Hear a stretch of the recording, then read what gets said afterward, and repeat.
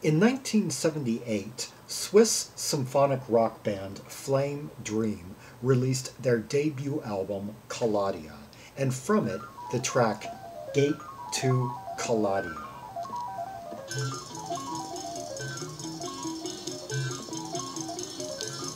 Okay, so far, uh, faint volume, but we've got that little sparkly keyboard and that woodwind coming out over it and some cymbal, like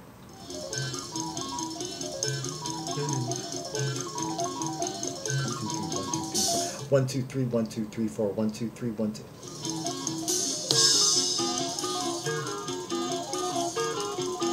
Yeah, one, two, three, one, two, three, four, one, two, three, one, two, three, four, one, two, three.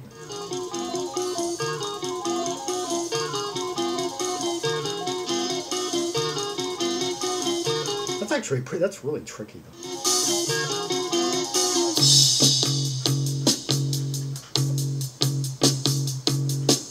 Love the jerky propulsion of this and the kind of like swaying back and.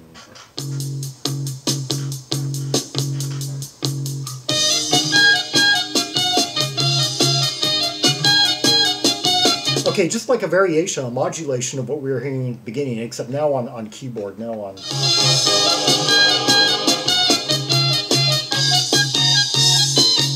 Oh, the way that Mellotron just came in and rose up like that, that choral Mellotron.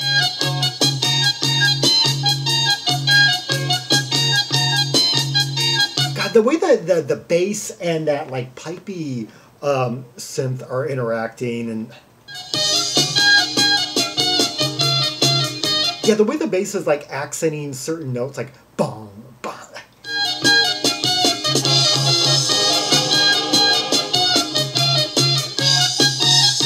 yeah, this would have taken a lot of like rehearsals for, for each of them to get their their their parts together without being distracted by what the other was playing.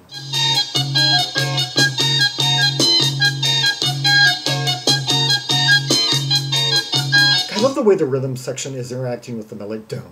I, I, and the moment I the moment I pause it, I can't even conjure it up in my head. It has to be heard to be believed.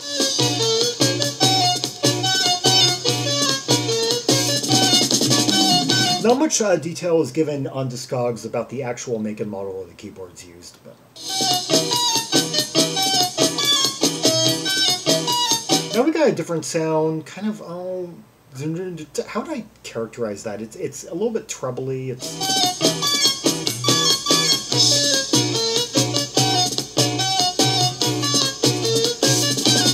actually it kind of sounds a bit like a woodwind of sorts.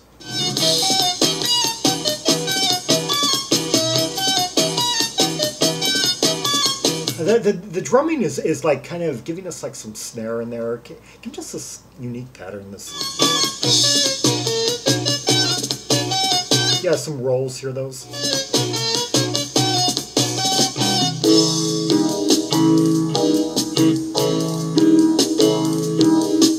Now those sounds right there are kind of like uh, like on that Pollen record from Quebec.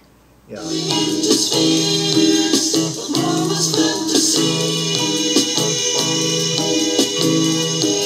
Very uh, like Starcastle like harmonies.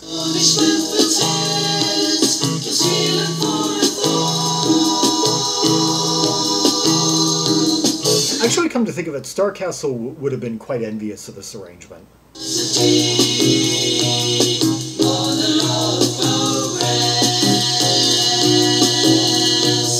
Yeah, because uh, Starcastle would, would have these like Squire-esque, Squire Anderson-like harmonies with um, those really crisp staccato bass figures, like interacting in this really kind of jerky, convoluted, odd metric counterpoint with the drumming and you would have like the, the real tonal clarity of instrumentation.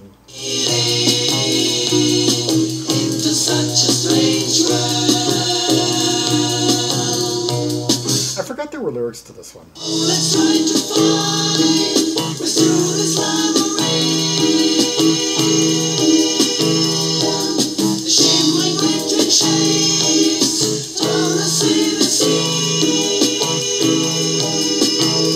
Don't uh, reckon that they are printed anywhere, but vocals on this album are by Peter Wolf, I guess is the main.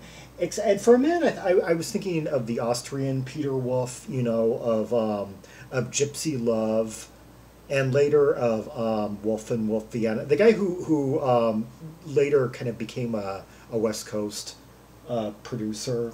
But uh, no, this is a third Peter Wolf, and it's definitely not the J. Geils guy see.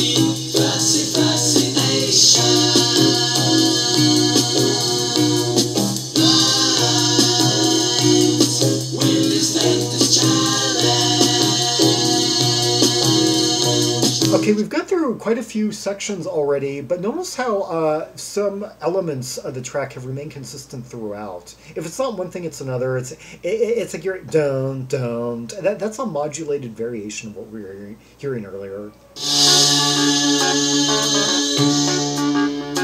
Now this truly is different. This is a, a moment that hasn't uh, been that we haven't heard so far. A break we haven't heard so far.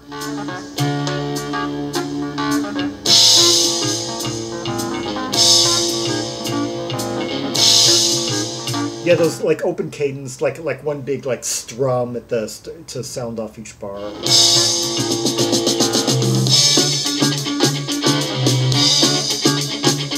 Oh, I like how it suddenly went all jittery, close cadence. A bit of a new wavy, frantic, nervy vibe here in that guitar.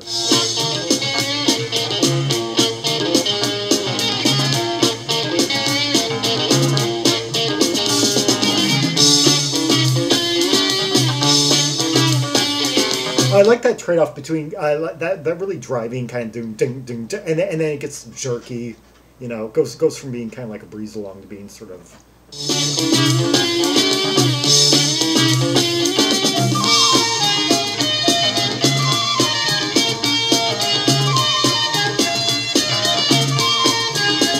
Yeah, it's kind of like jerk and then hop.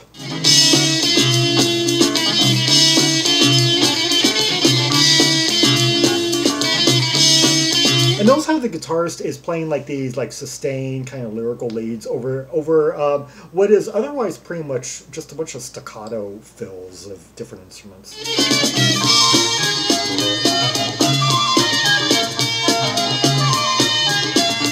Oh, appreciate that little flute uh, twirling around.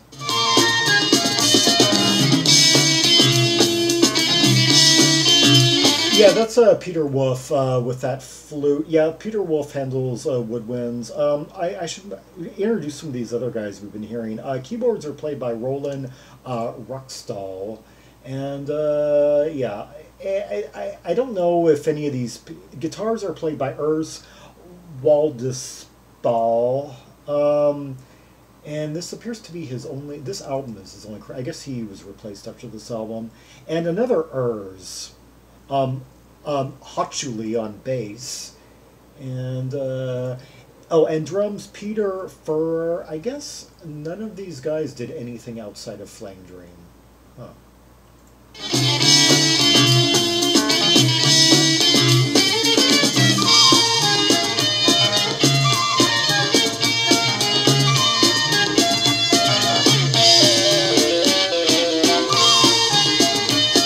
Now we uh, a new uh, the next section is starting to emerge. It's trying to uh, fight things away from this part we're in right here. Yeah, that right there.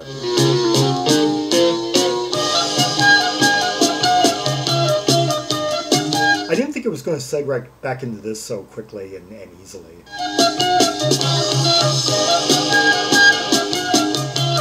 Hearing it, uh, hearing this uh, recapitulate to what we were hearing at the beginning, it, it, it, gives it more of like an epic feel. Like uh, I thought they were they were just kind of taking too many bridges too far to really get get back to this so easily.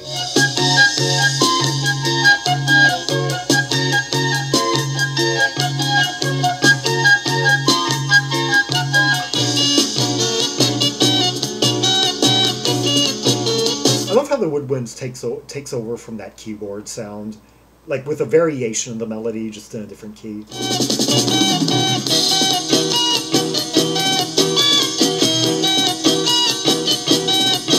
Okay, different uh, arrangement of notes, but uh, the same cadence.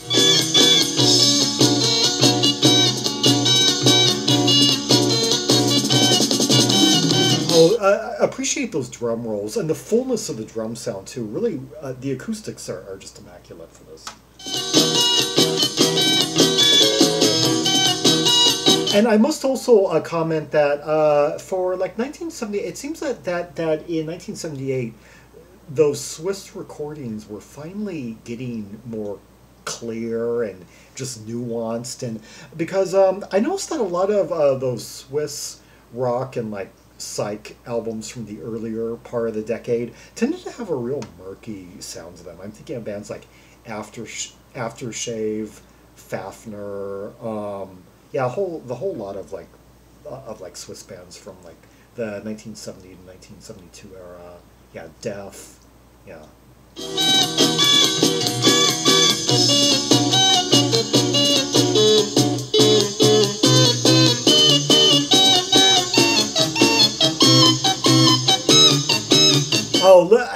Love that sound. Just it's it's getting a little bit more tweaked, right? As we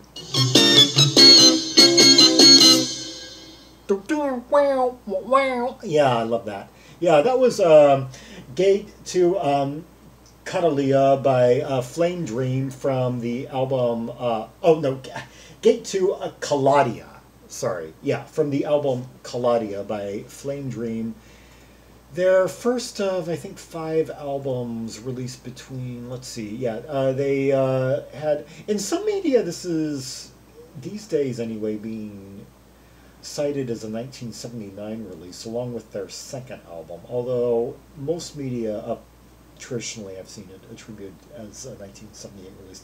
Yeah, um, released, oh well, four albums between 1980 and 1982 anyway. Yeah, that, the last, I, those are the ones I know about anyway, and I guess a couple of more, two further albums up through 1986, yes, and, um, uh, really the uh, the nation uh, Switzerland's chief exponent of the mature symphonic rock style, as opposed to the the rougher like psych uh, psychedelic hard rock recordings that came out from that nation earlier in the decade. Yeah. Um, anyway, for more Rubies and Sapphires from the catalog of Flame Dream, see the directory of albums by artists from landlocked Europe. Uh, linked in the description below. Yeah, I uh, that was the best description, I, the best grouping I could think of for Switzerland and Austria. Yeah, together. Yeah, both those together. So us album, uh, ba- um, albums by artists from Switzerland and Austria, about 150 titles. Yeah, uh, including all the artists that I mentioned here. Yeah. Like and subscribe, follow me on social media, and share the video on the music uh, discussion forums and such. And leave a comment if there are any observations you have about the track we just heard, the layers, the interplay, the intricacy, uh, the nuances, the sounds, the soloing, the lyrics even, yeah. And until next time, this is Zaragon, the world's most ear travel trimaximalist, signing off.